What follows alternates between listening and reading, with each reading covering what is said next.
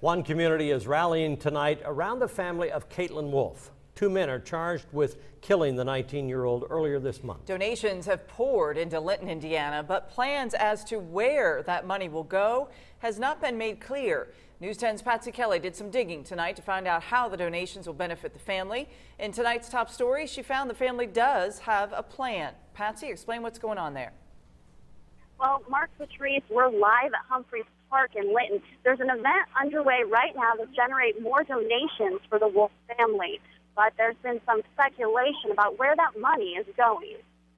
And should um, one or both of them choose not to seek a higher education, the fund will roll over into the Caitlin Wolfe Arts Scholarship Fund, which is not 100% set up yet. Regions Bank in Linton will handle monetary donations for Caitlin Wolfe. After funeral expenses, money will help her brothers.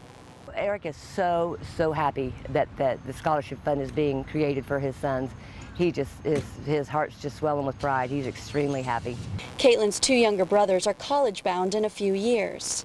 Caitlin is extremely artistic. Art meant a lot to her. She was a, a painter, a writer. Um, she was going to Ivy Tech State College. Um, she, she was going to study the arts. Um, it's very, you know, that was very important to her, so it's very important to us. One is hoping to go to school for art, just like his sister.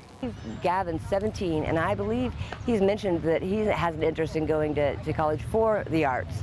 So we're really happy to help support that.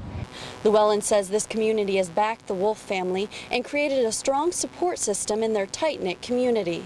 The way the community has come together has just amazed everyone. Now, Llewellyn hasn't decided yet which foundation that she would like to work with on the Caitlin Wolfe Art Scholarship Fund. Now, there are donations that have been sent in from all over the United States. There's even some coming from Europe. The event here tonight is scheduled to go until midnight. Mark, back to you. Okay, thank you, Patsy. Uh, if you would tell us a little bit about the event that's going on tonight. Well, there's about seven bands here tonight, including what I heard one of Caitlin's favorites. There's a lot of food, and I believe there's a silent auction as well. Now, organizers say that they do are expecting over a thousand people here tonight. Thank you, Patsy.